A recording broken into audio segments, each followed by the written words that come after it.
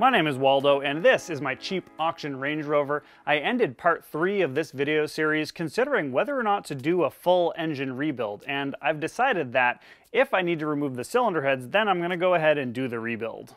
I have the engine partially disassembled to fix the timing, which I discovered was badly in need of repair.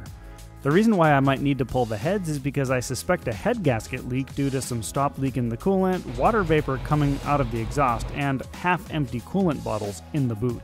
In order to determine if I have a head gasket issue, I'm going to perform a leak down test on all eight of the cylinders.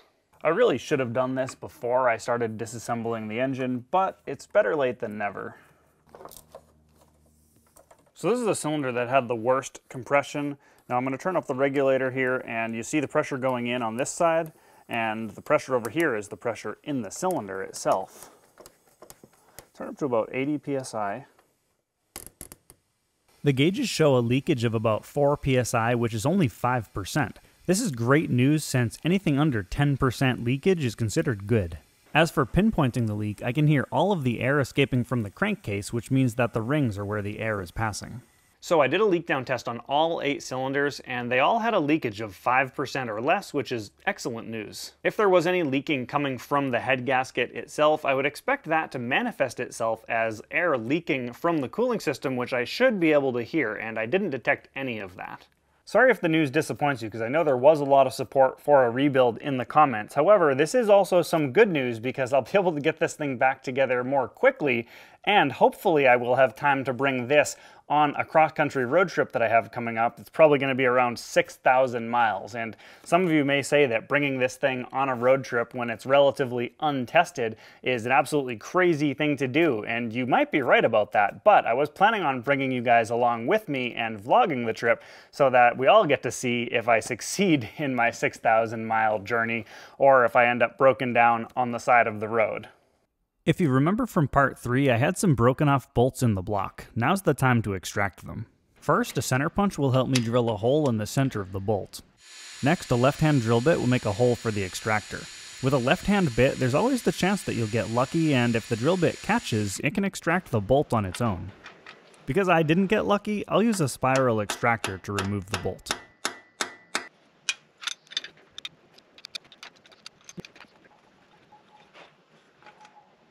Oh yeah. Take a look at that. Extracted expertly. That is fantastic. I'll put a link to this extractor set down in the description because this thing is invaluable when you have broken bolts to extract. Alright, so I have the camshafts locked in place with these little tools back here, and I also have the crankshaft locked in place as well. I'll start by installing the timing chain guides.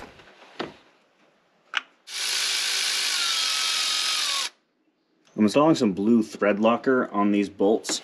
My theory is that maybe these bolts were over torqued and that's why they broke. And so the torque spec is only 12 newton meters, which is not very much. So if I install some blue thread locker on here, I'll feel a lot more confident that they're not going to come undone.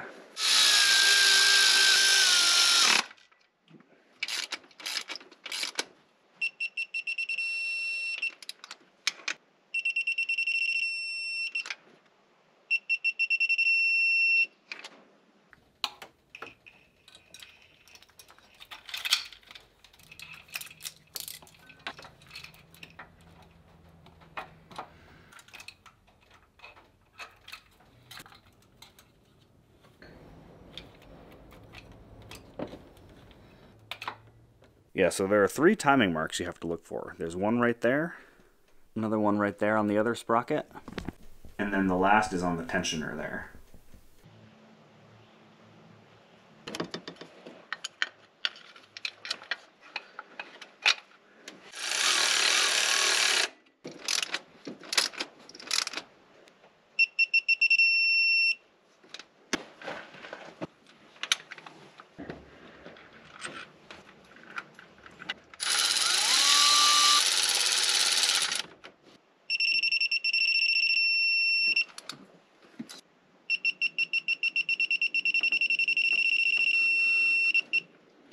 Note that I've installed the tensioner with the pin still in place. We'll remove that next.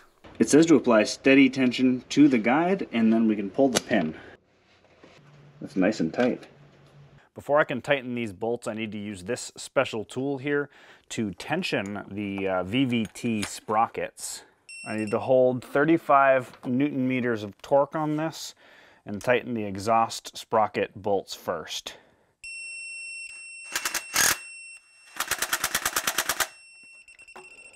Set this to 32 newton meters so I can torque these bolts.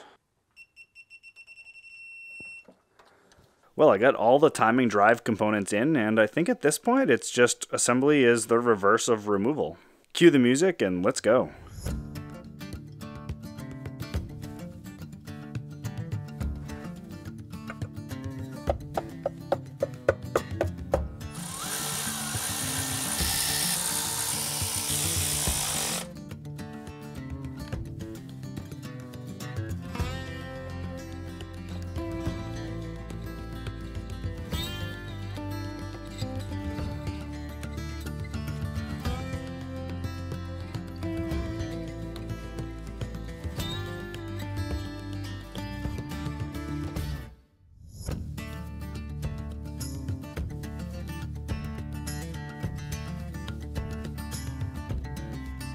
So this is my first time installing one of these stretch fit belts. The benefit here is that it's simpler because it doesn't have a tensioner and therefore reduces cost and theoretically improves reliability because there's no tensioner to go bad.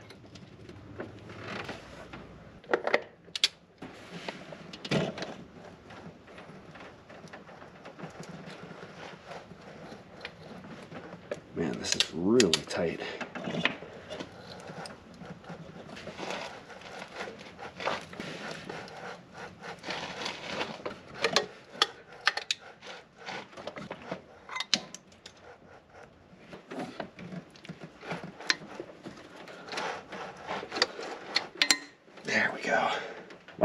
That is ridiculously tight. You guys can probably tell from the sound of my voice, but I am on day six of being sick now, and I just developed a mild fever. And unfortunately, I just don't have the time to take a sick day before my trip, so I'm gonna plow through it, although not pushing myself too hard. So let's get back to work.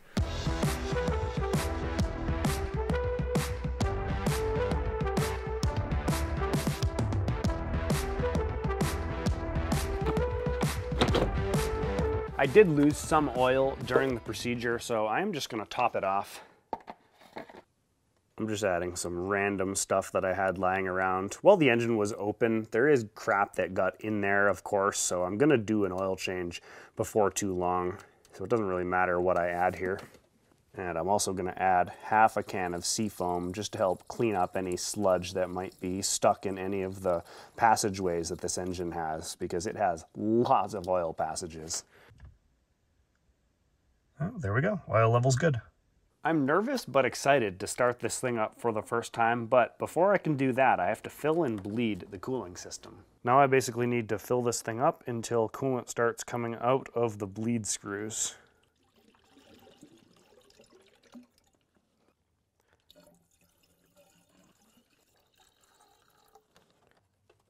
Good. Well, I think I'm about ready to start this thing up for the first time, and not gonna lie, I'm pretty nervous. Is a pretty complex repair, and there's a lot of things that could go wrong with potentially catastrophic consequences. On the other hand, I'm also excited because I certainly hope and expect that the engine will run really well.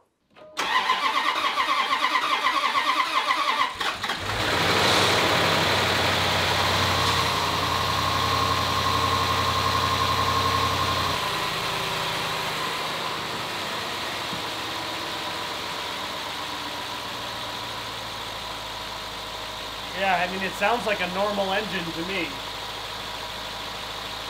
I think this is successful. I gotta fill this full enough, though. It's been several days now, and I found a really big surprise with this thing. So I went ahead and got it registered and insured. I brought it for about a 10 or so mile test drive around town, and I have to say, it ran really well. The driving experience was great. I mean, the brakes were good, the steering, the suspension were nice and tight.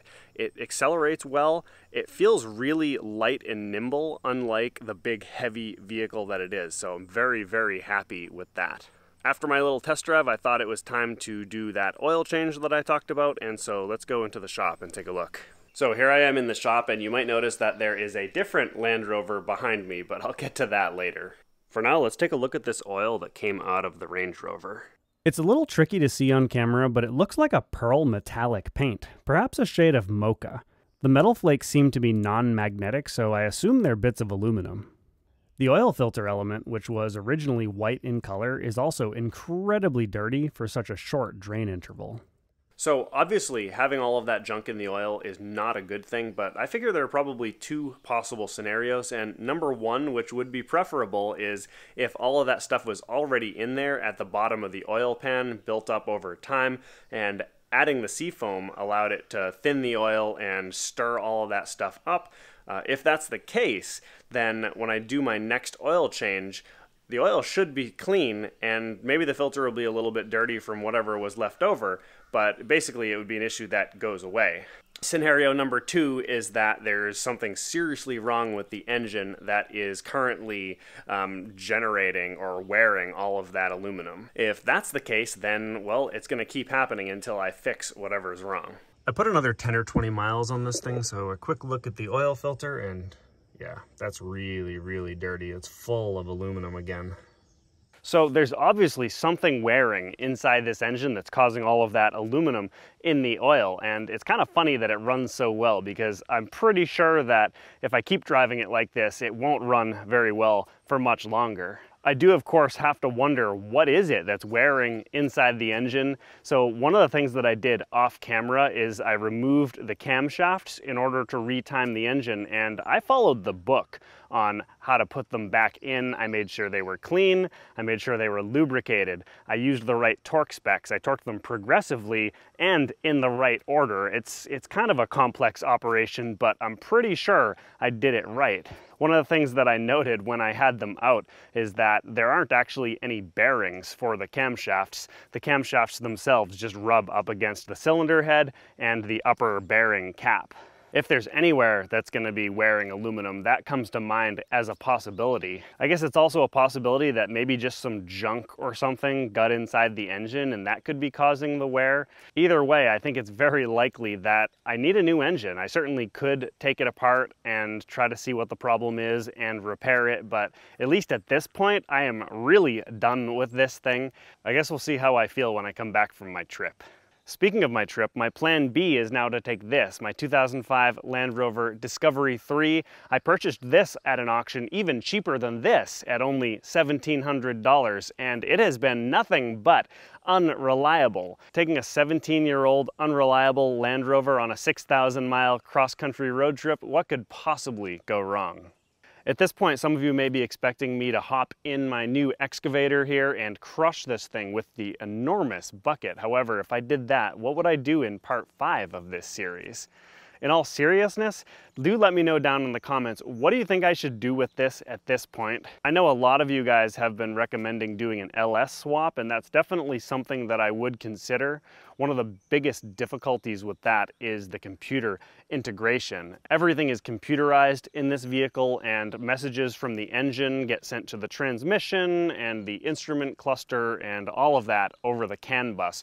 And the message format that it uses is proprietary and it would need to be reverse engineered engineered. It's the same thing with a donor engine that would go in it, whether it's an LS or heck, maybe like a 5.7 liter V8 from a Toyota. Wouldn't that be the most reliable Range Rover ever if I put one of those in? I would need to do the same thing and reverse engineer how everything works on the CAN bus from the donor vehicle as well so that I can build a translation layer in between the engine and the rest of the vehicle. But maybe you can help me. If you work for Jaguar Land Rover and you have access to that proprietary CAN bus message data format and sent it to me, that would make my life so much easier and I assure your confidentiality. If I don't do some sort of a custom engine swap on this, then I think what is pretty likely is that I'll just buy another Range Rover that was totaled with a working engine and just do an engine swap that way. That's probably the cheapest way for me to get this thing going.